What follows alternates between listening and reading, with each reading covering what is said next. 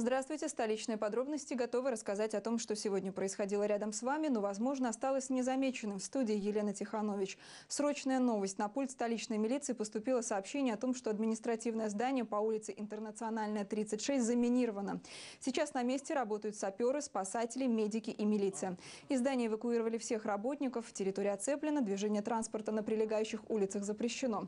На месте ЧП работает и наша съемочная группа. Подробности случившегося в информационном выпуске в 20 22.30.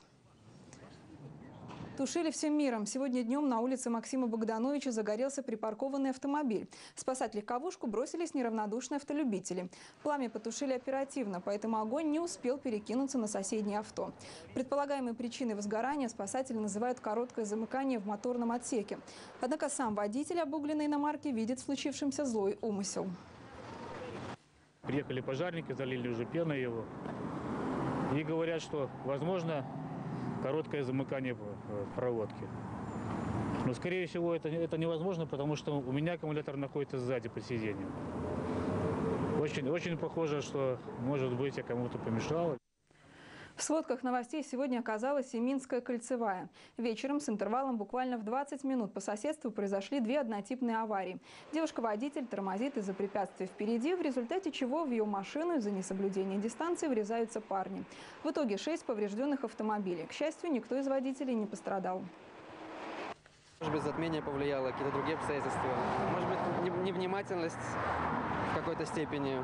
Все живы, весна, Нечего печалиться, но нужно быть внимательным, конечно. Оценили инициативу. Сегодня в столице подвели итоги работы коллегиальных органов общественного самоуправления.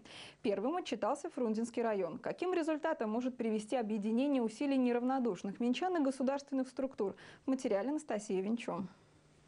Буквально год назад парк Тивали только на бумагах был парком. Нехоженные тропы, заросшие травой поляны и болотные ямы. Теперь же это полноценно обустроенная зона отдыха. Здесь и тропа здоровья, и детская площадка, и, конечно, чистые лавочки. Сохранить порядок городским службам помогают волонтеры коллегиальных органов общественного самоуправления. В народе – катосовцы. Они постоянно со мной имеют связь.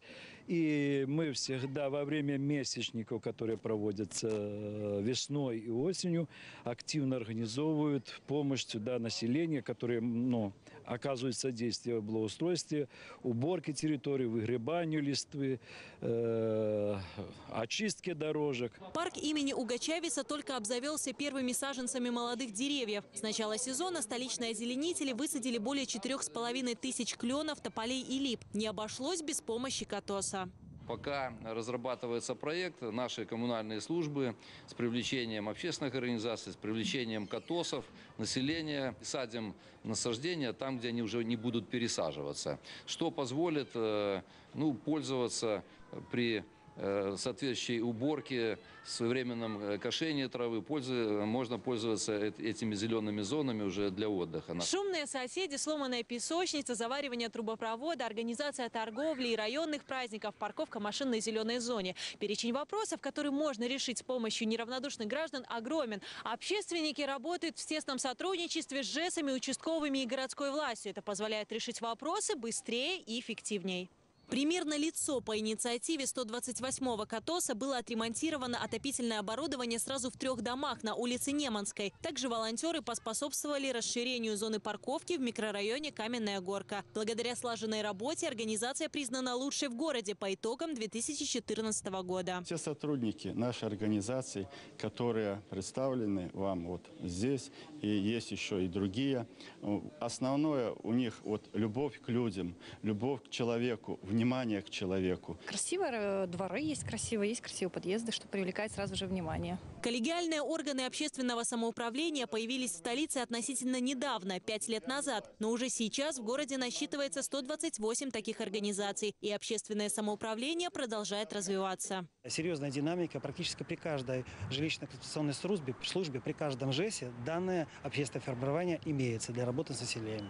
Провести досуг с пользой буквально негласный принцип волонтеров Катоса. Общественники в свое личное время занимаются обходом дворовой территории и решением чужих проблем. И такая инициатива не остается незамеченной. Депутаты Мингорсовета уже вручили десятки наград и премий самым активным катосовцам. Анастасия Винчо и Алексей Колупанко, телекомпания СТВ.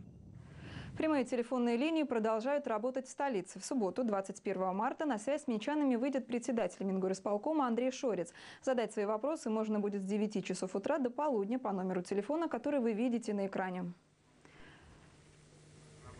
Альтернатива прямым телефонным линиям с чиновниками. Во всех районах Минска в течение полугода появятся консультационные пункты. Дважды в месяц на встречу с населением будут приходить представители районных администраций, ЖРЭО, профсоюзов, Центра гигиены, МЧС, РУВД, а также депутаты Мингурсовета. Реализацию пилотного проекта начали с Фрунзенского района. Так, для жителей микрорайона Сухарева консультационный пункт будет работать в субботу 21 марта с 10 утра до часу дня на базе гимназии номер 33. Мы пришли э, по поводу предоставления жи- жилья. Мы молодая семья. Нам обещали помочь в этом вопросе. Если не сегодня, так завтра точно. По мере необходимости, если это будет нужно, и мы будем видеть, что много людей приходят, то, конечно, мы будем делать гораздо чаще э, работу консультационных пунктов. Сюрприз из Арктики вместо яркого солнца, мокрый снег, похолодание. Есть ли надежда на скорое возвращение весны? Узнаем у главного специалиста по метеопрогнозам Дмитрия Рябова. На предстоящих выходных в нашу столицу придет более холодная э, погода. В субботу ожидается у нас увеличение облачности, ночью еще пока без осадков, но ну, а днем возможен кратковременный э, дождь. Ветер будет переменных направлений 3-8 метров в секунду. Температура воздуха ночью 0 плюс 2, днем еще плюс 6 плюс 8. Но в воскресенье уже через нашу территорию будет проходить уже такой активный атмосферный фронт, вслед за которым в нашу столицу хлынет холодный арктический воздух и ожидается понижение температуры воздуха. Самая холодная ночь в Минске ожидается в ночь на понедельник. Там температура воздуха прогнозируется ночью минус 7, минус 9, и дневная температура составит плюс 2, плюс 4 градуса. И при этом возможны осадки в основном в виде мокрого снега. Но такое похолодание будет недолгим, и уже к середине следующей недели в Минск вновь вернется по-настоящему теплая и более комфортная погода. Желаю всем хорошо провести выходные дни, одевайтесь потеплее, удачи и берегите себя. Новые городские подробности в понедельник в это же время в студии новостей, которая всегда рядом, работала Елена Тиханович. Всего доброго и до встречи.